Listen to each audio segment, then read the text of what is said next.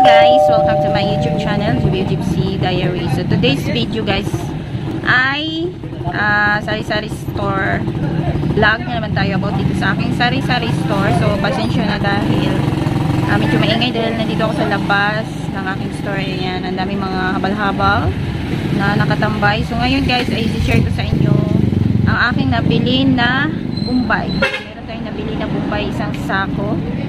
So, yan guys, papakita ko sa inyo.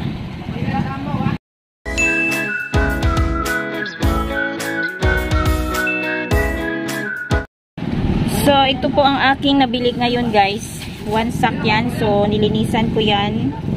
So, tingnan ko kung ilang kilo ba ang nasa loob ng isang sako. Kasi sabi 15 kilos or 14 kilos. So, nabili ko yan ng 1,000. So, ayan, nilinisan ko dahil ang daming mga bulok. So, hindi maiwasan yan dito sa Bombay. Sa Sibuyas, Bombay. Meron talaga siyang ganito. Ayan, nalata. So, lugi na tayo dyan. So, ayan ang aking nilinisan. Nasa uh, anim. Anim na kilo yan. So, tingnan natin kung magkano ang ating tubo dyan.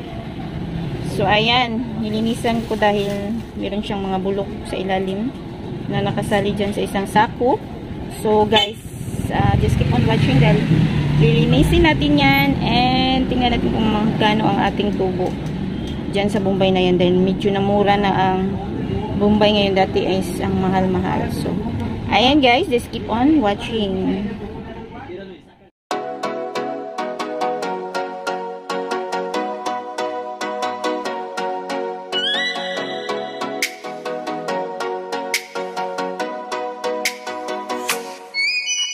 Me up with a bright smile on now. Put me in the dark,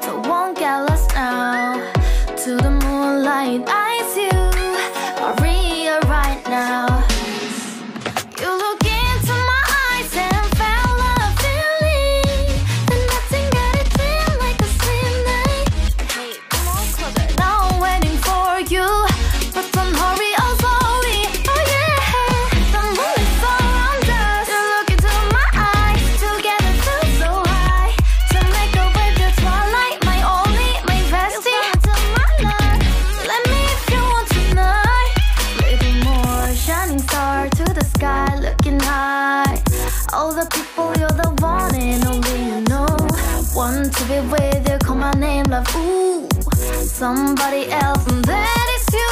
Ooh, ooh, in with you.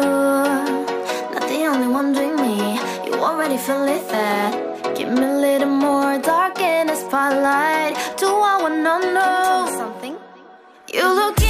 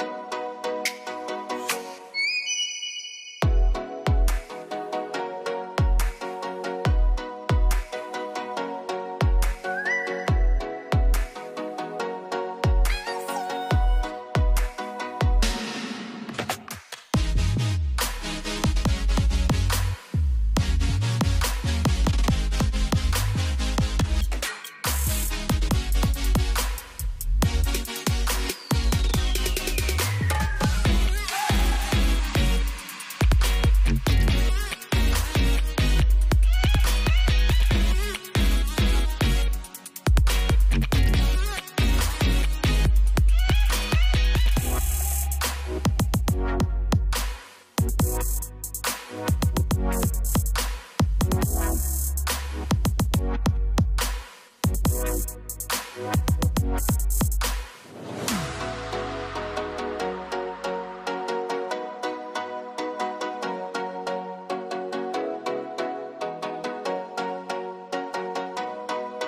ayan na guys. Tapos ko na nalinisan. So, umabot lang siya ng 13 kilos. Dahil sabi dun sa, dun sa nabilhan ko nito is 15 kilos daw. So, ayun, nilinisan ko siya. Ngayon, umabot lang siya ng 13 kilos. So, inano ko lang yung may mga ganito na nabalata na sinali ko na yan dito. Para naman, umabot siya ng 13 kilos.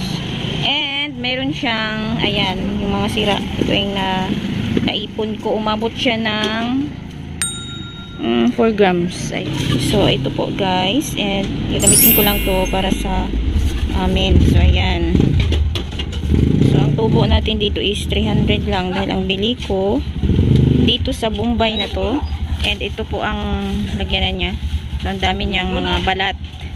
So, 300 pesos lang guys ang tutubuin ko dito dahil ang bili ko is 1,000 pesos.